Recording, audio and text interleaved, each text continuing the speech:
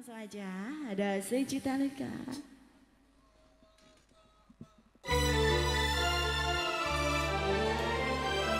thank you